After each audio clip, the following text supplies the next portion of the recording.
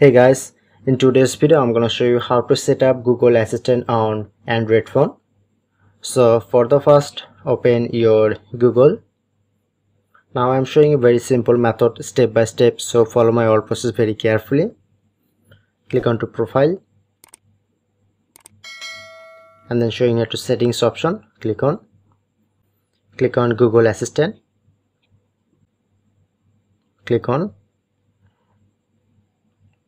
you need to first full setup. Click on. Then showing you to setup option. Scroll down. I agree. Scroll down.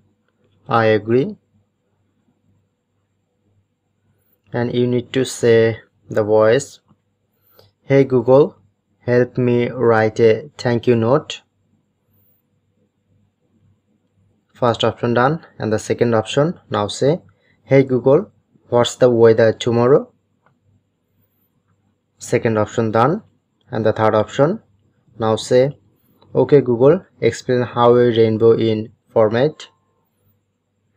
And the fourth and last option now say okay google set a time for five minutes okay now all setup done. Click on to next. Start saving audio scroll down. I agree.